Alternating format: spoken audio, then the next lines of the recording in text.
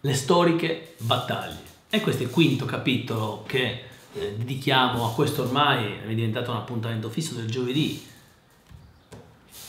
che è seguito da, uh, dagli ingegneri, ma in questo giovedì no, potrebbero essere all'ascolto anche altri, no?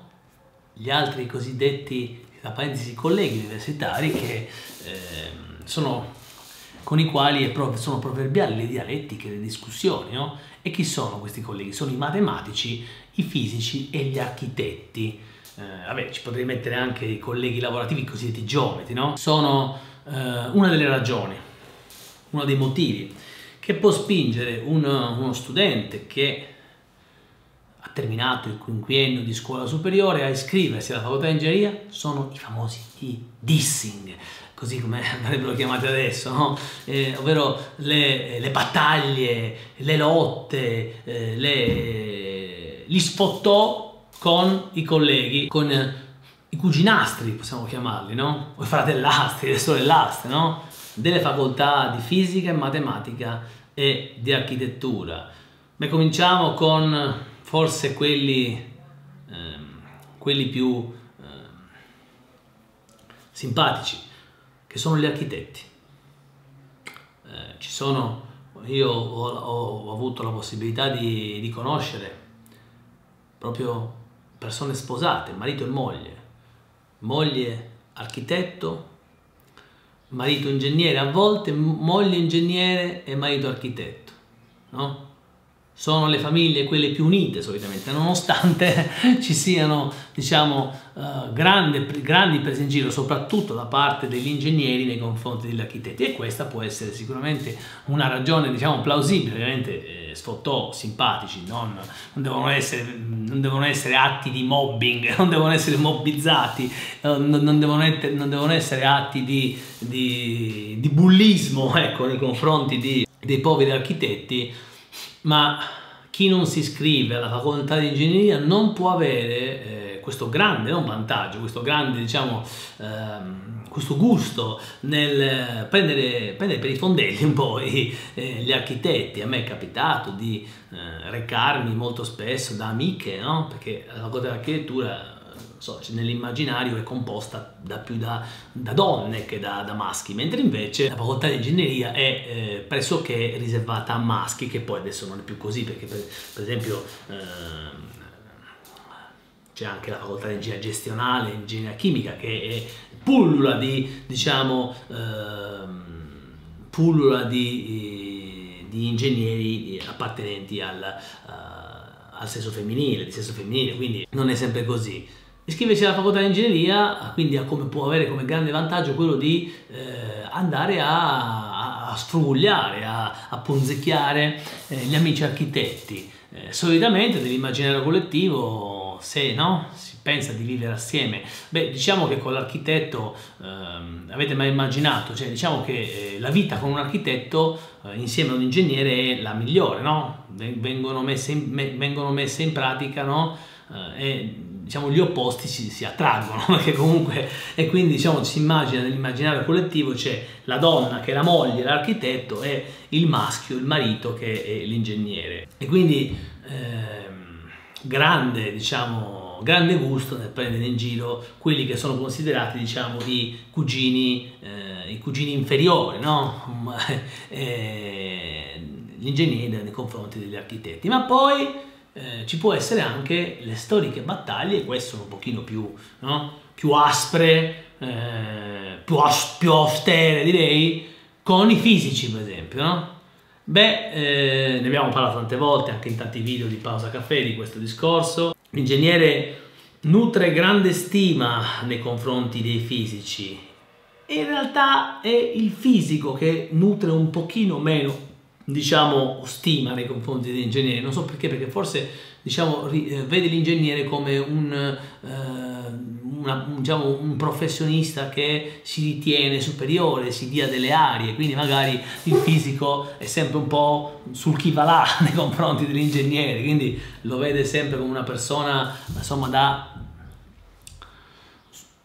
con, con, il quale fare solo determinati discorsi. Certo è che solo se si iscrive alla facoltà di ingegneria si può arrivare quantomeno a dialogare, quindi ad avere degli scontri, sempre dialettici si intende, si mancherebbe altro, con i fisici, perché il, eh, chi frequenta la facoltà di fisica è ritenuto comunque molto in alto, molto una, una persona di, di, un certo livello, perché comunque non è che tutti quanti eh, si possono permettere di iscriversi alla facoltà di fisica. E quindi diciamo che l'ingegnere ha questo vantaggio, può arrivare a al livello, quindi a parlare allo stesso livello di un fisico, non che il nostro terzo protagonista, ovvero del matematico. Sì, perché eh, la facoltà di ingegneria, abbiamo detto tante volte, neanche negli altri capitoli, presenta molti esami nei quali, certo, non si fa la matematica che si fa alla, al dipartimento di matematica, alla facoltà di matematica, eh, non si fa quel tipo di matematica là, perché la matematica che si fa a matematica non la fa nessuno,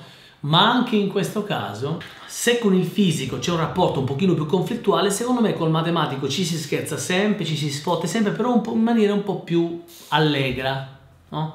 Tendo a vedere il matematico in maniera un po' diversa rispetto al fisico. Il fisico lo, lo vedo un pochino più eh, rabbuiato, un pochino più imbronciato nei confronti dell'ingegnere. Il matematico invece no, c'è più come posso dire, più complicità, forse nel mio immaginario questo, eh, con il matematico. E quindi un'altra ragione perché si debba scegliere a tutti i costi la ingegneria è appunto avere dialoghi sia con i fisici che con i matematici. Tenete presente che anche i matematici sono personaggi molto, diciamo, ritenuti borderline, partic- aventi personalità particolari, perché il matematico comunque eh, frequenta una facoltà eh, dove la matematica ti esce dalle orecchie, non è non è, insomma, quindi eh, ingegneria dà questa possibilità quantomeno di provare ad arrivare a discutere o con un fisico o con un matematico. Non a caso la facoltà di ingegneria, molti docenti e insegnanti sono, vengono, provengono dalla facoltà di fisica e dalla facoltà di matematica, ma aggiungo io, c'è un'altra categoria con la quale si possono avere dei simpatici dissing, dei simpatici, delle simpatiche lotte ed facoltà, sono dei colleghi, ovvero i colleghi gestionali, perché anche quello, diciamo, la possibilità di sfottere i gestionali che vengono ritenuti, no? Gli ingegneri più poveri, ingegneri non più poveri dal punto di vista ingegneri, ingegneri tra virgolette, no? Ingegneria tra virgolette, si, si ritiene queste, queste, queste che sono adesso possono essere considerate leggende metropolitane, non sono leggende metropolitane perché sono messe fuori da ingegneri appartenenti al vecchio ordinamento. Dovete sapere che chi ha frequentato il vecchio ordinamento, l'ingegneria era un po' diversa un tempo.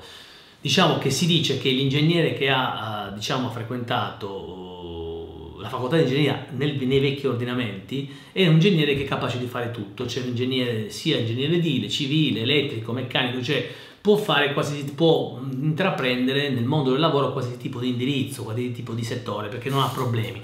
Adesso questa grande divisione che si è fatta, diciamo ultimamente eh, a diciamo, per specializzare sempre di più l'ingegnere ha fatto sì che questi ingegneri della vecchia scuola appunto andassero proprio a sfrugugliare in particolare eh, gli ingegneri gestionali che per, molta, per molti ingegneri della, del vecchio, diciamo, della vecchia scuola non sono ritenuti dei veri e propri ingegneri. Allora c'è questo, io non sono assolutamente d'accordo su questo, ma c'è questo, diciamo, queste, queste, battute che vengono fatte nei confronti degli ingegneri gestionali ritenuti, ritenuti no?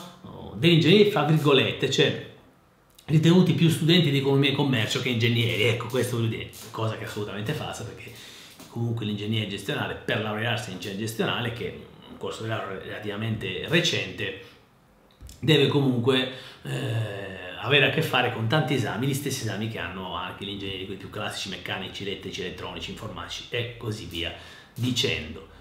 E quindi avete capito il perché come quinto capitolo